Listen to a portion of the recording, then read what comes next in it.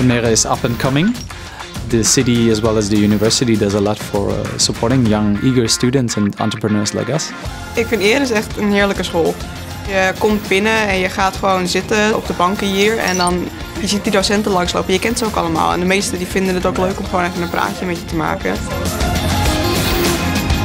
Almere is wel een groeiende stad. Het doet heel veel aan natuurontwikkeling.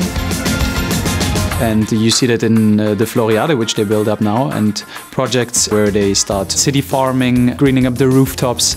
It is a very uh, uh, metropolitan city. We hebben hier een kweeklokaal met paarse lampen en waar je gewoon zelf ook je planten neer mag zetten. Op school wordt er heel veel onderzoek gedaan in samenwerking bijvoorbeeld met het Flevolandschap in een natuurpark. Ja, dat vond ik tot nu toe het leukste wat we hebben moeten doen.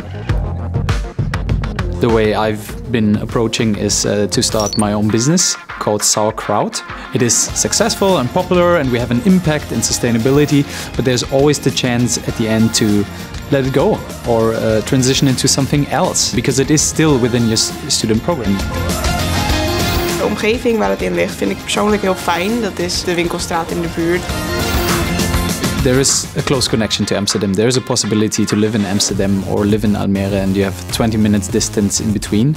If you want uh, housing, you just text the university during your application form, and they find housing with you. Van tevoren vond ik het zeker spannend om te gaan studeren, maar het bevalt me zeker goed. So be open to different cultures. Be open to to a vibrant uh, student life. You you have the guts to go through it.